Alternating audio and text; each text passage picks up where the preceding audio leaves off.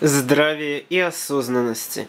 Мое имя Арий Радослав, и а, сейчас я хочу более пристально рассмотреть некоторые артефакты из месопотамской коллекции, которые хранятся в Московском музее изобразительного искусства имени Александра Сергеевича Пушкина.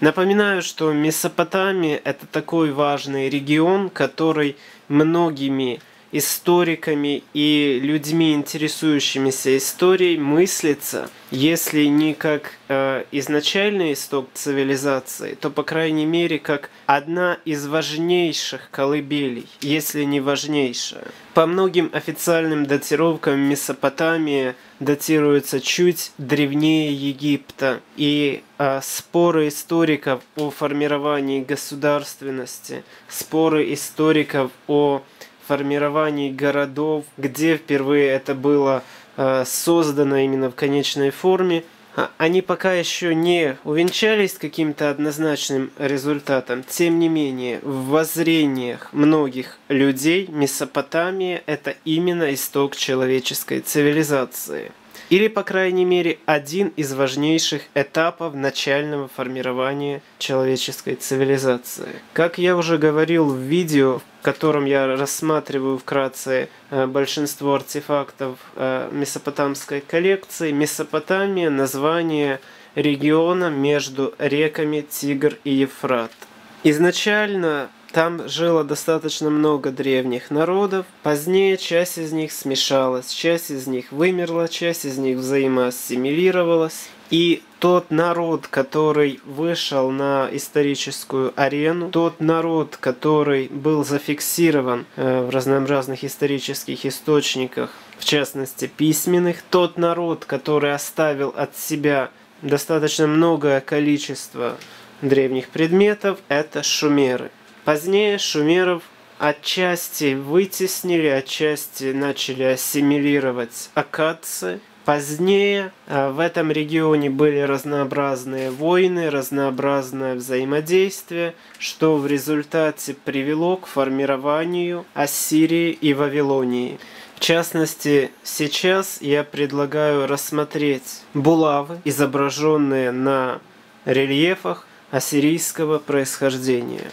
Во-первых, на этих рельефах, кроме булав, много чего еще интересного.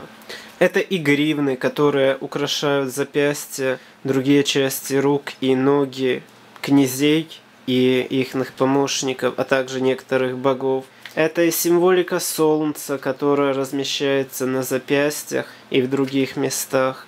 Это и священные знаки Ратаи, это и изображение мирового древа, изображение крылатого солнца, изображение знака Алатарра и достаточно много чего другого, также важного и также заслуживающего рассмотрения. Пока рассмотрим булавы. Булавы присутствуют, как мы видим, и на изображении князей, и на изображении Бога. Также ясно видим, что здесь булавы практически в том же значении, в котором они использовались в Речи Посполитой, в частности казаками, практически еще 400 лет назад. То есть мы видим, что тот символ, который является очень древним, тот символ, который присутствовал даже в месопотамской Шумера, Акада, Вавилоняно-Ассирийской цивилизации, он сохранялся нашими прямыми предками еще достаточно недавно.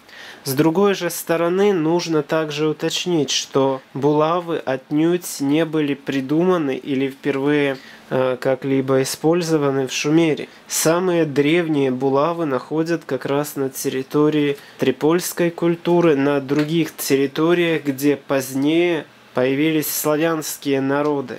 Нужно понимать, что славянские народы появились не поздно, и они появились не из ничего. По сути дела, славяне – это название народов, придерживающихся ведическому мировоззрению и прославляющие богов.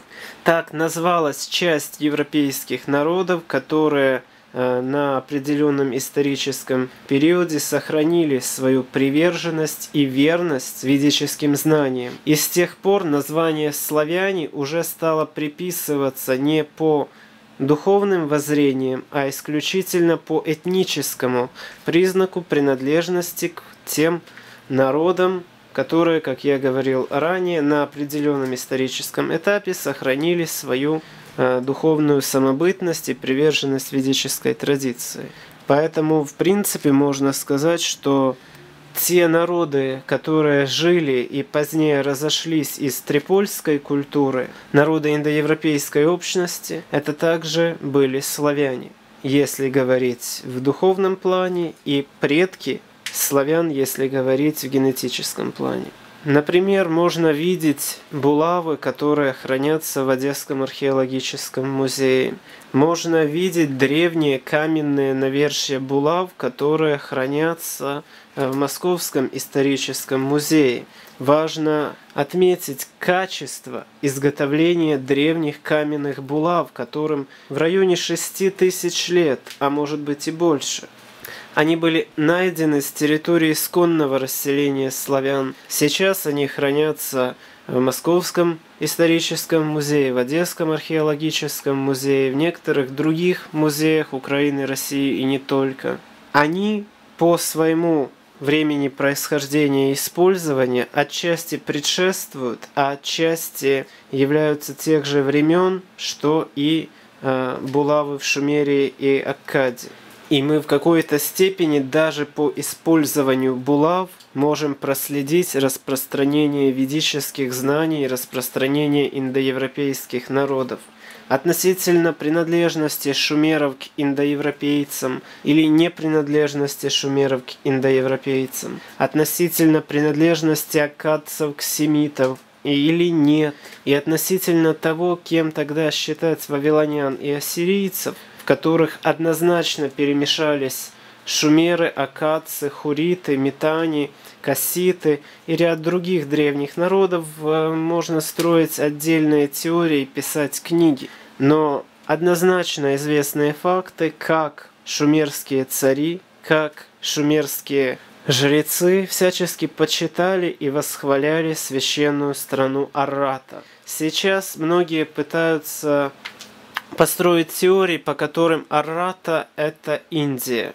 Но это достаточно странно, поскольку Индия себя Арратой не называла, и исторически как-либо зафиксированных государств на территории Индии с названием Аррата в принципе не обнаружено.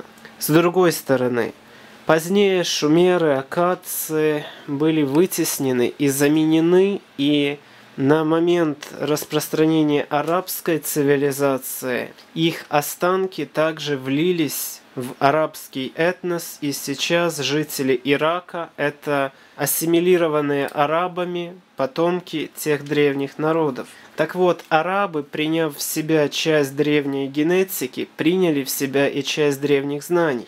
И они называли территорию Западной Украины именно Аратой – Таким путем можно ясно провести параллель и понять, где находилась древняя Арата. Можно понять, что это совершенно не Индия. В конце концов, потомкам шумеров лучше известно, что имели в виду их предки, описывая Арату. К тому же, если разбирать о э, путешествиях и маршрутах путешествий шумерских царей в Арату, то Предположить, что это Индия, как-то странновато. Для путешествия в Индию им достаточно было бы использовать просто корабли и все. Выплываем из э, Персидского залива и подплываем к Индии. Там практически как бы и нечего делать. Это намного меньше, чем те же самые финикийцы египтяне, которые плавали по всему Средиземному морю.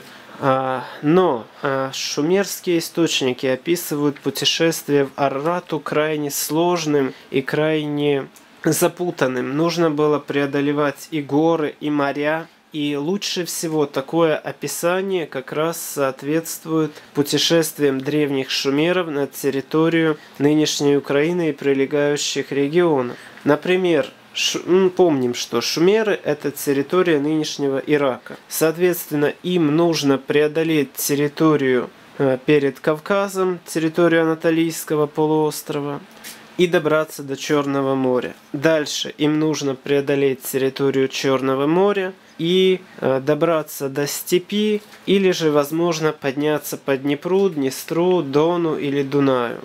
Соответственно, в любом из этих вариантов э, присутствовал достаточно усложненный маршрут, если сравнивать его с тем, как просто сесть э, в своем родном городе Ури или Уруки, спуститься в Персидский залив и доплыть до Индии. Чтобы добраться до Индии, шумерам в принципе не нужно было преодолевать горы. Те, кто считают, что имеется в виду Иранское Нагорье, то а, поймите, вы сами себе противоречите. Нет смысла а, преодолевать Иранское Нагорье, а позднее преодолевать еще Персидский залив. Просто если предположить, что шумеры добирались из Ирака в Индию э, по суше, то, соответственно, да, им можно было пройтись или вдоль берега Иранского Нагорья, так сказать, и добраться до Индии, или, соответственно, морем.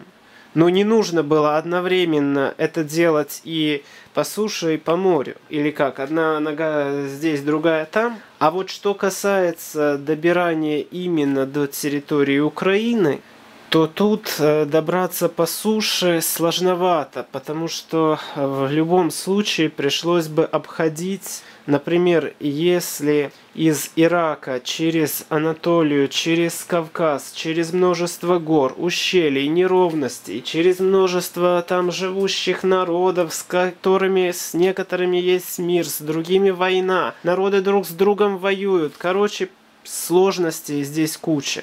Поэтому, если уж добираться, то через Анатолию к Черному морю и через Черное море, э, соответственно, к Украине. Таким путем Аррату можно однозначно атрибутировать. И символика креста в круге знака Ратаи – это символика именно ведической цивилизации, центром которой была Аррата, позднее Бхарата – и, соответственно, три зубы, которые также были атрибутами многих богов, почитаемых в Шумере. И, соответственно, те же самые булавы, знаки Алатара и многие другие аспекты символики. Просто здесь я привожу, с одной стороны, изображение булав как атрибутов богов и царей в Ассирии. Ну, по сути дела, это все аналогично и для Вавилонии, и для Акада, и для Шумера. И с другой стороны показываю реально существующие булавы, используемые на Украине, точнее в Речи Посполитой, времен 15-16 столетия, а также показывают древние каменные булавы, которыми пользовались наши предки 6, 5, 4, 7 тысяч лет назад. Самые древние из этих наверший каменных булав, они старше старше первичных э, очагов цивилизации в Междуречии. Также прошу обратить ваше внимание на чрезвычайно высокое качество изготовления каменных орудий, каменных наверший булав, наверший молотов и топоров – поймите, насколько это, ну, просто сказать, что это качественно, сказать, что это высокая технология, значит ничего не сказать. Это просто предмет совершенства, он совершенен со всех сторон. Им удобно пользоваться, его удобно э, крепить на любой, в принципе, палке. Он совершенен, симметричен и так далее. Просто такие каменные топоры и такие навершия булав примитивным способом, ударом камень о камень, не изготовить никогда. Никогда. Или, по крайней мере, если изготовить, то с одной стороны с одной симметрией, с другой стороны с другой. Общую симметрию простыми ударами камня камень и сколами постоянными, часть из которых э, будет э, делать хаотические изменения формы. Такого не добиться никогда. Советую осмыслить данные знания. Если у вас есть что опровергнуть, что дополнить и так далее, буду рад разумному, осознанному диалогу или там дебатам. Поэтому желаю вам разумности и успехов в духовном развитии.